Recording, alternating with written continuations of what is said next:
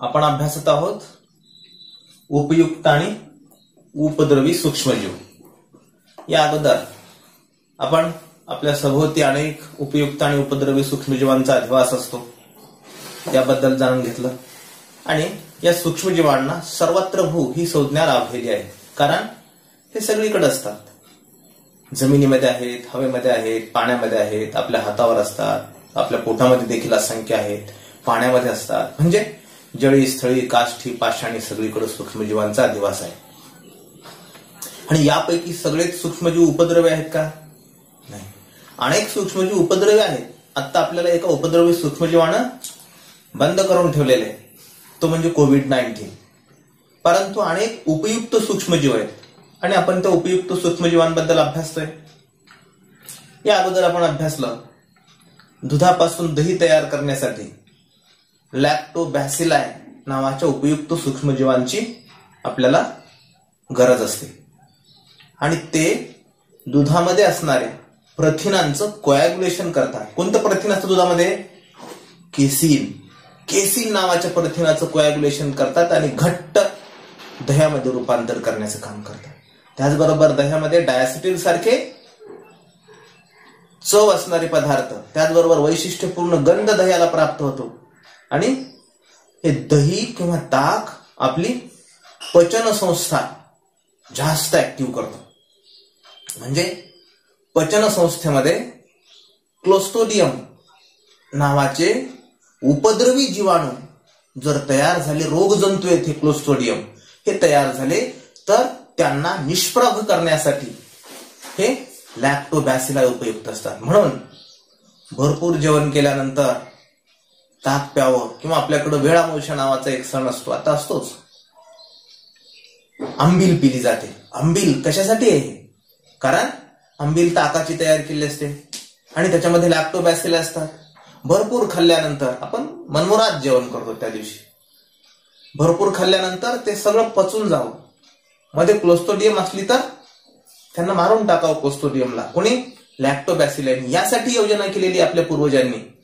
हा त्यांना हे माहिती नसेल की हे लॅक्टोबॅसिलाय आहे परंतु त्यांना एवढं मात्र माहिती होतं की याचा उपयोग आपल्याला काहीतरी होतो. आता ते आपल्या लक्षात घेणं गरजेचं आहे.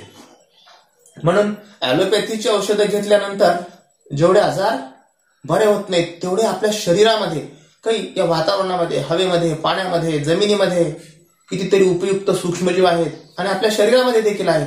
फक्त आपण त्यांना वाढीसाठी तसं अनुकूल ऍटमॉस्फिअर म्हणजे त्यांच्या वाढीच्या सुयोग्य वातावरण निर्माण करून देणं गरजेचं असतं. आणि मग हे लॅक्टोबॅसिलाय आपल्या अन्ननलिकेमध्ये देखील कितीतरी उपद्रवी सूक्ष्मजीवांना मारण्यासाठी हे वेगवेगळ्या प्रकारचे लॅक्टोबॅसिलाय उपयुक्त असतात. हे अगोदर आपण अभ्यासलं त्याच्यामध्ये कोणते? लॅक्टोबॅसिलस ऍसिडोफिलस लॅक्टोबॅसिलस केसी आणि बायफिडो बॅक्टेरियम बायफिडम हे तीन प्रकारचे उपयुक्त जीवाणू आहेत. कुठली कुठली नावं सांगितली? लॅक्टोबॅसिलस ऍसिडोफिलस लॅक्टोबॅसिलस केसी आणि बायफिडो बॅक्टेरियम बायफिडम हे उपयुक्त जीवाणू आहेत. कुठं असतात? आपल्या अन्ननलिकेमध्ये पचन संस्थेचं काम व्यवस्थित करण्यासाठी सुरळीत करण्यासाठी ते मदत करतात. याबद्दल या अगोदर आपण अभ्यासलो. आणि क्लोस्टोडियम सारख्या उपद्रवी सूक्ष्मजीवांना ते मारतात. त्याचबरोबर प्रोबायोटिक्स उत्पादने तयार करण्यासाठी देखील जीवाणूची आपल्याला आवश्यकता असते. लॅक्टोबॅसिलायची आणि हे लॅक्टोबॅसिला वेगवेगळी दुग्ध उत्पादने दूध दही तूप खवा लोणी पनीर चीज किंवा केफीर कोको सिडार हे सगळे किंवा कोबीचं लोणचं म्हणजे सोरक्रूट ही सगळी उत्पादनं तयार करण्यासाठी आपल्याला लॅक्टोबॅसिलायचा उपयोग होतो हे आपण अभ्यासलं. आज आपल्याला पुढचा एक उपयुक्त जीवाणू अभ्यासायचा आहे ज्याचं नाव रायझोबियम. हा रायझोबियम सिम्बायोटिक जीवाणू आहे. म्हणजे सहजीवी जीवाणू म्हणतात त्याला सिम्बायोटिक का? कारण तो दुसऱ्या सजीवासोबत राहतो. दुसऱ्या सजीवासोबत त्याचा अधिवास असतो. आता कुठं असतात हे रायझोबियम आणि काय काम करतात? आपल्याला माहिती आहे वनस्पतींच्या वाढीसाठी नायट्रोजनची आवश्यकता असते आणि अन्न तयार करण्यासाठी कार्बन डायऑक्साईडची आवश्यकता असते. वातावरणामध्ये मुबलक प्रमाणामध्ये नायट्रोजन आहे. जरी अठ्याहत्तर टक्के नायट्रोजन असला वातावरणामध्ये तरी देखील वनस्पतींना हा नायट्रोजन वापरता येत नाही. कारण तो मुक्त आहे. वनस्पतींच्या वापरासाठी रैनवीय स्वरूपामध्ये मॉलिक्युलच्या रूपामध्ये तो नायट्रोजन आवश्यक असतो. आणि मग हे जीवाणू तसं उपलब्ध करून देतात. वापरायोग्य नायट्रोजनचं रूपांतर करणे म्हणजे त्या नायट्रोजनचं स्थिरीकरण करणे. आणि हे नायट्रोजनचं स्थिरीकरण करणारे हे जीवाणू आहेत रायझोबियम. हे मातीमधल्या नायट्रोजनचं स्थिरीकरण करतात. तर हवेमध्ये देखील अझॅटोबॅक्टर असतात. हे देखील उपयुक्त जीवाणू आहेत. आपल्याला याच्याबद्दल सुद्धा माहिती पाहिजे. अझॅटोबॅक्टर हे हवेतील नायट्रोजनचं स्थिरीकरण करतात. म्हणजे रैनवीय स्वरूपामध्ये मुक्त स्वरूपातील नायट्रोजनचं रैनवीय स्वरूपामध्ये रूपांतर करण्याची प्रोसेस प्रक्रिया म्हणजे असतं नायट्रोजनचं स्थिरीकरण. आणि हे कुठं वाढतात? तर हे शिंबावर्गीय वनस्पतींच्या मुळांच्या गाठीवर वाढतात. शिंबा शिंबावर्गीय वनस्पती म्हणजे कोणत्या? ज्या वनस्पतींना शेंगा येतात त्या वनस्पतींना शिंबावर्गीय किंवा शेंगवर्गीय वनस्पती म्हणतात. या वनस्पतींच्या मुळांच्या गाठीवर असणारे हे गाठीमध्ये हे जीवाणू वाढतात. कुठले? रायझोबियम. आणि म्हणून म्हणून त्यांना सहजीवी म्हणतात. कारण हे सहजीवन कुणासोबत आहे? शेंगा येणाऱ्या वनस्पतींसोबत त्यांचं सहजीवन आहे. त्यांचा उपयोग ते होस्ट म्हणून करतात. आणि म्हणून त्यांना सहजीवन असं म्हटलं जातं. आपल्याला एक छोटी कृती करून पाहायला सांगितलेली आहे.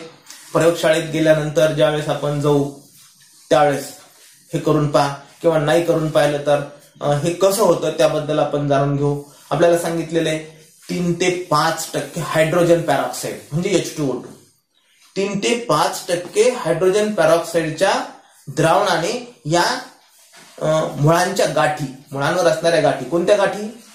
सोयाबीनच्या मुळावर असतात तुरीच्या मुळांवर असतात किंवा शेंगदाण्याच्या भुईमुगाच्या मुळावर या गाठी असतात. सगळ्या शेंगा येणाऱ्या ज्या वनस्पती आहेत ना त्या शेंगा येणाऱ्या वनस्पतींच्या मुळांवर गाठी असतात. बघा तुम्ही आता शेतात तूर आहे सोयाबीन होतं उपटल्यानंतर त्याच्या मुळावर बारीक बारीक गाठी असतात. आणि त्या गाठींमध्ये हे रायझोबियम असतात. आणि हे काय काम करतात? नायट्रोजनचं रैनवीय स्वरूपामध्ये रूपांतर करण्याचं काम करतात. म्हणून त्या मुळांच्या गाठी घ्या सोयाबीनच्या मुळावरच्या किंवा तुरीच्या मुळावरच्या आणि तीन ते पाच टक्के hydrogen peroxide H two O टूच्या द्रावणामध्ये त्याला निर्जंतुकरण करा. त्याच्यानंतर सत्तर टक्के इथिल अल्कोहोलच्या द्रावणामध्ये त्याला चार ते पाच मिनिट ठेवा असं सांगितले आणि चार ते पाच टक्के सत्तर टक्के या द्रावणामध्ये इथिल अल्कोहोलच्या द्रावणामध्ये ठेवल्यानंतर त्या गाठींचे पातळ काप करा. आता सहज पातळ काप होत नाही त्याला स्किल लागतं. तर ते प्रयोगशाळेमध्येच येतं ते स्किल आपल्याला कांदा सुद्धा बघा हॉटेलमध्ये कांदा चिरणारा कसा खरखर खर कर कांदा चिरतो. आपल्याला तो तसं चिरायला. परंतु हे काप घेणं सुद्धा एक कौशल्याचं काम आहे. वारंवार अनेक काप घेतल्यानंतर एखादा काप त्याच्यामध्ये आपल्याला पातळ मिळेल. तो पातळ मिळालेला काप सॅफरानी नावाचं एक रंगद्रव्य असतं. रंजक द्रव्य असतं. ते गुलाबी रंगाचं असतं. या सॅफ्रानीमध्ये त्या कापाला ठेवा. आणि नंतर हे कव्हर स्लीपवर घेऊन स्लाइडवर घेऊन त्याच्यावर एक कव्हर स्लिप झाका. स्लाइड म्हणजे काचेची पट्टी. काचपट्टीवर घेऊन त्याच्यावर आच्छादन काच झाका. आणि हे संयुक्त सूक्ष्मदर्शिकेच्या खाली पहा. आपण संयुक्त सूक्ष्मदर्शिकेच्या खाली पाहिल्यानंतर हे या आकृतीमध्ये दाखवल्यासारखे आपल्याला त्याच्यामध्ये हे रायझोबियम हे जीवाणू दिसतील. म्हणजे यांना मुळांच्या गाठीवर राहणारे दिवाणू म्हटलेले. का? कारण ते सह आणि म्हणून त्यांना सहजीवी म्हटलेले. आणि हे कसे दिसायला लागले? गुलाबी दांड्याप्रमाणे दिसतात कारण आपण सॅफराईनमध्ये टाकलेले आहेत. आपल्याला दिसावे म्हणून आपण ते रंजक द्रव्य वापरले. याच्या अगोदर आपण एक वेगळं रंजक द्रव्य वापरलं होतं. आता सॅफ्रानिन वापरलेले. आणि मग मुळांच्या गाठीत राहणारे हे रायझोबियम काय करतात? वनस्पतींच्या वाढीसाठी आवश्यक असणारे नायट्रेट्स त्याचबरोबर नायट्राइट्स आणि अमायनो ऍसिड्स वनस्पतींना पुरवण्याचं काम करतात. बघा काय काय पुरवतात? वनस्पतींच्या वाढीसाठी आवश्यक असणारे नायट्रेट्स नायट्राइट्स आणि अमायनो ऍसिड्स हे त्या वनस्पतींना पुरवतात आणि याच्यामध्येच नत्रयुक्त संयुग असतात. नायट्रोजनची कंप म्हणजे संयुगाच्या रूपात हा नायट्रोजन उपलब्ध करून देतात. आणि याच्या बदल्यामध्ये ते वनस्पतींकडून काय घेतात? कर्बोदकांच्या स्वरूपामध्ये ऊर्जा मिळवतात. म्हणजे दोघांनाही एकमेकाचा उपयोग आहे. त्या शेंगा येणाऱ्या वनस्पतींना देखील या रायझोबियमचा उपयोग आहे. आणि त्या वनस्पतीला सुद्धा कोणत्या? रायझोबियमला सुद्धा त्या वनस्पतींपासून कर्बोदकीय ऊर्जा मिळते. आणि ही ऊर्जा त्यांच्याकडून मिळवतात. त्याच्या बदल्यामध्ये त्याला हे नायट्रोजनची संयुग उपलब्ध करून देतात. आणि हे जे नातं आहे त्या दोन वनस्पतींमधलं जीवामधलं नाय ती वनस्पती आणि हा रायझोबियम यांच्यामधलं जे नातं आहे या नात्याला सिम्बायोटिक नातं म्हणतात किंवा याला सहजीवन म्हणतात. म्हणजे एकमेकांच्या बदल्यामध्ये ते एकमेकांना काहीतरी देतात. आणि हे नायट्रेट्स नायट्राइट्स आणि अमायनो ऍसिड्स ही समृद्ध प्रथिनं पुरवणारी संयुग आहेत. आणि म्हणून आपल्याला तूर डाळ मूग डाळ उडीदाची डाळ मटकी या शेंगा येणाऱ्या ज्या वनस्पती आहेत ह्या सगळ्या शेंगा येणाऱ्या वनस्पतींमध्ये उत्कृष्ट स्वरूपाची प्रोटीन्स तयार करण्याचं काम ह्या रायझोबियम या रायझोबियम मुळे होतं. त्याचबरोबर जमिनीमध्ये सुद्धा हे रायझोबियम जास्त झाल्यानंतर किंवा याचं प्रमाण जर अधिक असेल तर शेतीला खत द्यायची गरज नाही शेतकऱ्याचा फायदा होतो. रासायनिक खतांमुळे होणारा जो शेतीचा नाश आहे. शेतीची उपजाऊपणा दिवसेंदिवस घटत चाललेली आहे. आणि रासायनिक अंश अन्नधान्यांमधून आपल्या आपल्या शरीरामध्ये जातोय. आपल्या आहारामध्ये हे येतोय. आणि यामुळे दिवसेंदिवस वाढत जाणाऱ्या रोगांचं जे प्रमाण आहे आता कॅन्सर प्रत्येक अन्नपदार्थामध्ये रासायनिक घटक यायला लागलेले यांची जर आपण टेस्ट केली तर रासायनिक अंश कीटनाशकांचा कीटकनाशकांचा रासायनिक खतांचा अतिरिक्त मारा आणि शेतकरी अतिरिक्त मारा करायला लागलेत. गरजेपुरतं टाका म्हटलं की त्याच्यापेक्षा जास्त दोन टोकणं जास्त औषध घालायचं. खरं म्हणजे आपण काहीतरी गडबड करतोय चुकतोय. आणि या सगळ्यांचा परिणाम आपल्या आरोग्यावर होतोय. आणि म्हणून हे रायझोबियम किती उपयुक्त आहे त्याच्यामध्ये समृद्ध प्रथिनं तयार करतात. आणि प्रथिनं आपल्या शरीरासाठी आवश्यक असतात. कशासाठी? शरीर बांधणीचं काम करतात प्रोटीन्स. म्हणजे आपल्या शरीराची झालेली झीज भरून काढण्यासाठी. जखम झाली पडल्यानंतर ती जखम भरून येते आजारी पडलो शरीरामधल्या मांसपेशी झिजतात.